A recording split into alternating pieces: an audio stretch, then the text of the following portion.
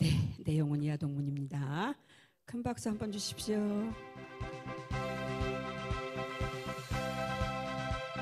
꽃다발도 전달해 주시고요.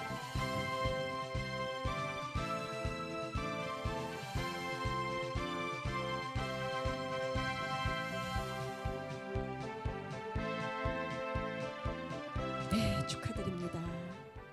나도 밀리긴 밀렸는데 네, 수고 많으셨습니다. 자, 이번에 우리 안호혁 가수님의 웃으며 삽시다.